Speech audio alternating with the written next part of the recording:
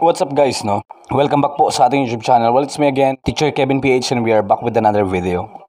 So meron lang tayong review mga kaibigan na isang Lenovo charger from Lazada. Link will be in the description below. Ito po yung 20 volts na para sa mga ah, ilan na Lenovo models natin. Okay. So halimbawa, yung mga Lenovo IdeaPad series, mga kaibigan, pwedeng pwede po ito. Pero bago kayo mag-order, make sure na tanungin nyo rin sa seller kung compatible ba ito sa inyong unit. Right? So square type to mga kaibigan. And uh, masasabi ko dito, uh, nabuksan ko na kanina eh. Hindi ko gusto yung packaging nila, yung packaging ng seller. Okay? Wala, ganito lang. Ah, parang sirang bubble wrap pa yung nilagay nila. Hindi ko gusto.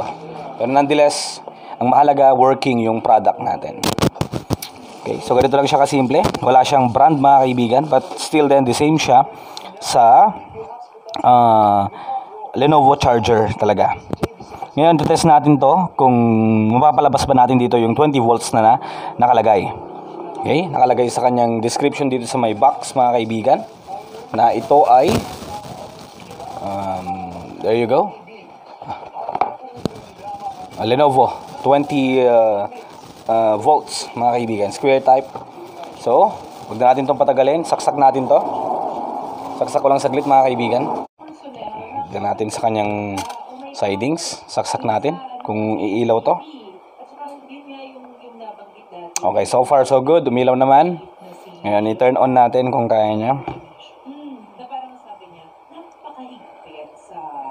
Ang problem din kasi nito keyboard mga kaibigan. Pero nonetheless na-open niya yung computer.